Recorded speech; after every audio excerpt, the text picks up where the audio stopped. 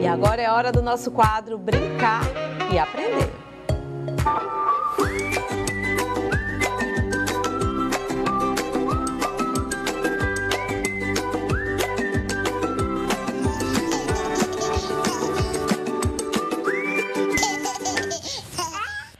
Ai, que maravilha! Bruninha Bom dia, maravilhosa. Seja bem-vinda ao nosso revista. obrigada. Que prazer pra gente, né, É um Camila? prazer recebê-la. É muito bom, sabe? A gente está tratando sobre tantos assuntos aqui nesse quadro Brincar e Aprender. E hoje falando de um assunto que foi, inclusive, muito, muito, muito pedido pelos telespectadores, pelas telespectadoras do nosso revista Meio Norte, que é exatamente as brincadeiras na terceira idade. A gente está falando tanto de brincar, né? Isso, a gente fala tanto do brincar, né? O brincar em família, o brincar com as crianças e também o brincar em todas as idades, inclusive na terceira idade, né, Bruna? Com certeza. E quando a gente fala em brincar já, entrando no assunto, quando se refere à terceira idade, a gente precisa ter muita cautela com o termo brincar. Porque o idoso, é, existe a questão de infantilizá-lo. Então, o brincar é além da brincadeira em si, ele é terapêutico. Isso. O brincar, ele gera muitas habilidades que eu creio que a gente vai falar aí um pouco sobre isso, É né? um período, na verdade, de muitas transformações, né? E que você perde ali um pouquinho da sua autonomia, né? O- as brincadeiras, inclusive, elas podem ajudar e muito a tornar esse envelhecimento menos solitário e mais ativo. total, a participação social, ela se faz necessária no momento do brincar. É, uma- é um momento de compartilhar.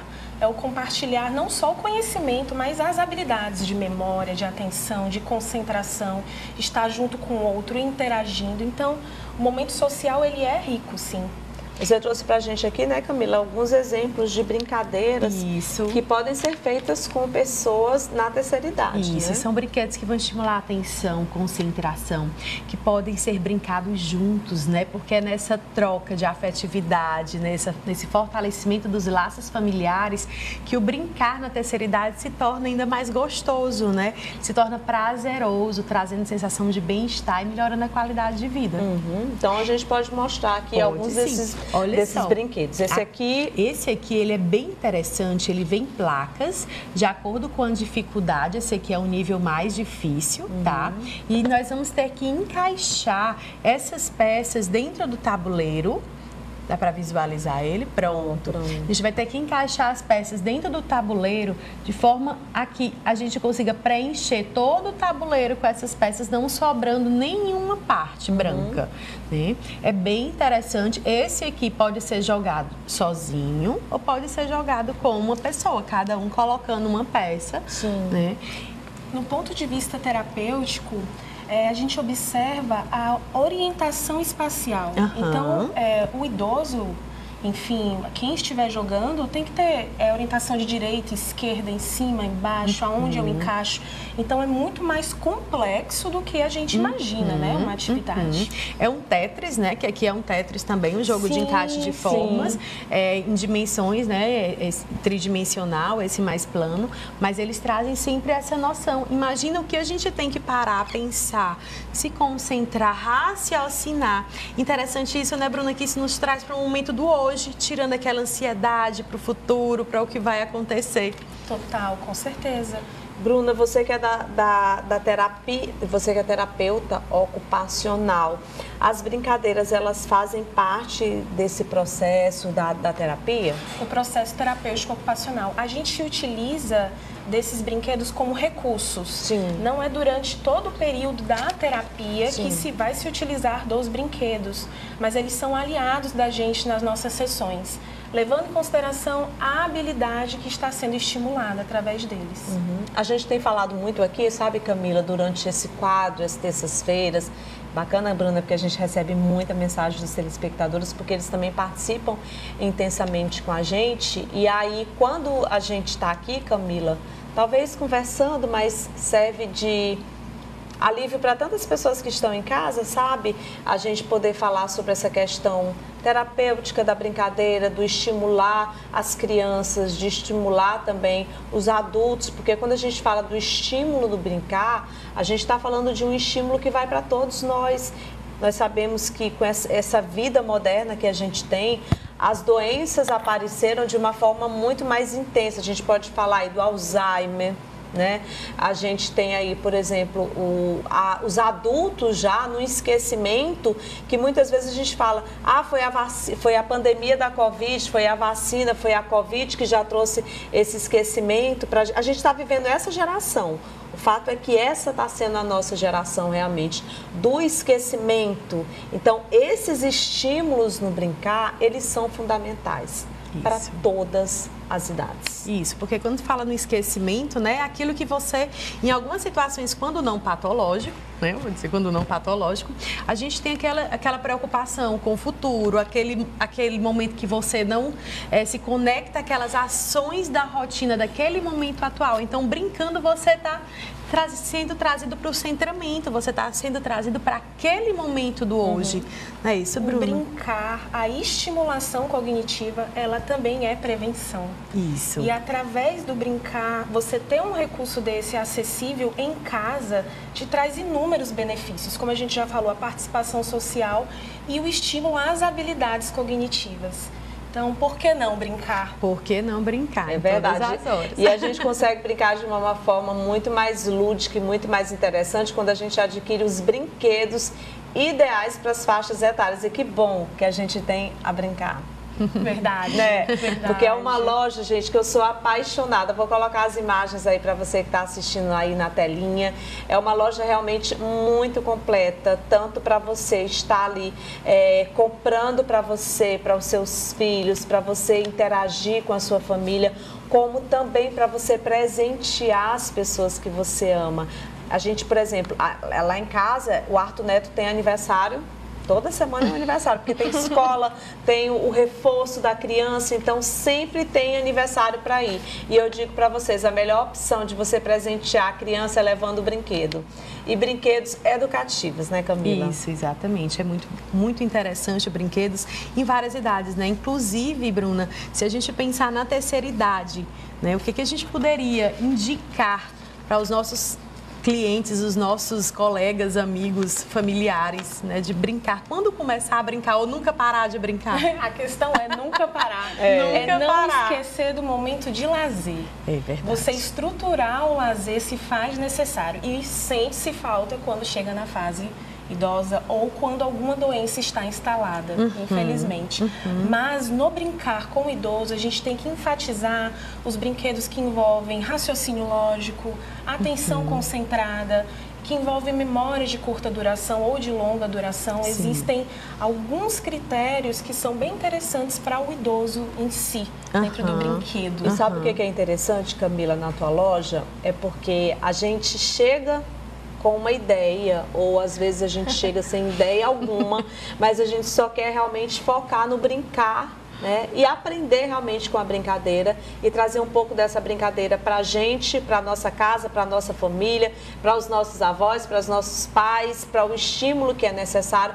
Mas às vezes a gente vai sem saber, por exemplo, que tipo de brinquedo eu vou comprar. E aí que eu falo, que o bacana de você ir lá na Brincar é porque você tem uma equipe que faz toda essa assessoria e te dá toda essa orientação, porque isso, isso. também é necessário, o brinquedo correto para cada faixa etária. Exatamente, o brinquedo para cada momento, para cada faixa etária, brinquedos que você possa ter dispostos em casa, em qualquer idade, né? Se a gente aqui está falando do, da terceira idade, eu tenho, no momento eu tenho um resta um próximo que eu posso jogar brinquedos de encaixe, um memórias coloridas. Então, assim, chegou um netinho em casa, ah, vamos brincar um pouquinho. Não tem visitas, brinca sozinho no encaixe. Então, assim, sempre ter dispostos em casa brinquedos que vão lhe trazer um bem-estar, sensação. Então, chegou lá na loja, pode pedir essas opiniões. Nós estamos e para os, E para né? os adultos, tem a questão da memória afetiva, né? Lá em casa eu brinco muito com o Arthur Neto e o Arthur.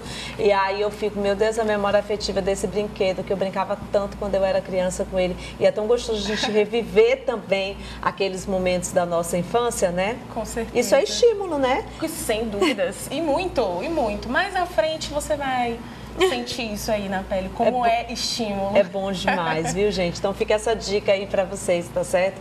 Obrigada, Bruna. Volta sempre Obrigada aqui no você. programa, tá bom? Obrigada, Obrigada. Camilinha. Obrigada, e fica esse prazer. convite para você que está em casa assistindo aí ao nosso programa. A gente está mostrando imagens para você agora dessa loja sensacional que eu te convido para você ir a brincar. É a sua loja de brinquedos criativos e brinquedos educativos. Vocês estão vendo, inclusive, aí um QR Code na tela? Então, faz o seguinte, já aponta o teu celular para esse QR Code que você já vai falar direto com a equipe lá da Brincar, tá? Então, você já conversa lá com as meninas, com toda a equipe e você também, ah, eu quero dar um presente de aniversário, ou não seja um aniversário, você quer presentear a gente está falando da terceira idade, ó, já aproveita aqui esse gancho do que a gente está falando. Já apresentei aí a sua mamãe que está na terceira idade, a sua vovó, o seu vovô, ao, ao, alguém que você tem um carinho muito grande, a titia, a uhum. família. Já surpreenda essas pessoas que cuidaram da gente a vida inteira e que chega na terceira idade, a gente precisa dar mais amor, mais carinho, estar mais perto,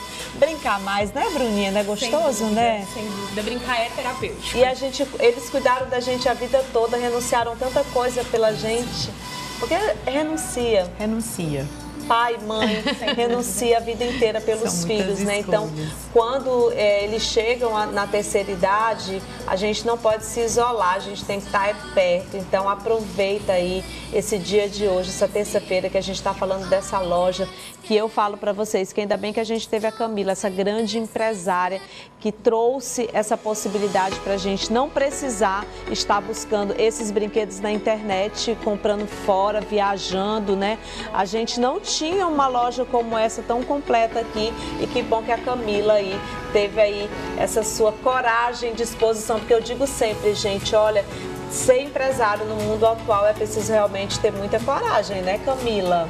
Não é fácil. E é por isso que eu é sempre falo para quem assiste o nosso programa que nós precisamos valorizar o que nós temos aqui na nossa capital, o que nós temos no nosso estado. Às vezes a gente deixa com que a economia do nosso estado ela não funcione. E aí o que, é que vai acontecer com isso? As lojas fecham, as coisas não giram. Por quê? Porque a gente precisa ter essa atenção às empresas que tem na nossa capital, sabe, gente? Então nós temos que deixar gastar o nosso dinheiro é aqui, aqui né? A, a, a, economia ela circula, Camila. Então com isso os empresários eles vão estar aí cada vez mais investindo nas suas lojas. Eu fico muito triste, sabe, Bruno? Eu acho que você também, Camila, quando eu vejo de repente um empresário que ele monta uma estrutura, que ele monta uma loja, que ele faz todo um investimento ali que de repente ele tem que fechar, por quê? Porque não tem a clientela, porque as pessoas não estão indo. E a gente precisa ter essa noção de que o nosso estado, que a nossa capital, ela precisa crescer, mas para ela crescer, a economia tem que girar é aqui. Então vamos avaliar isso também nas nossas vidas, sabe?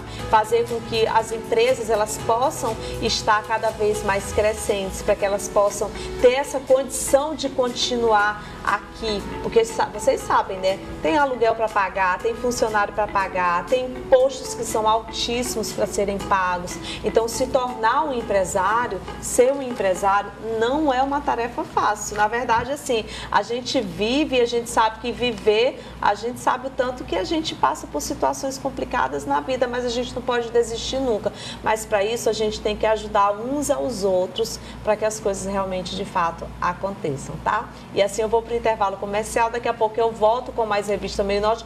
Vou para o intervalo, inclusive, deixando uma dica super especial aí para você, tá? Mas é já já, depois da gente trazer aí a finalização do nosso quadro Brincar e Aprender.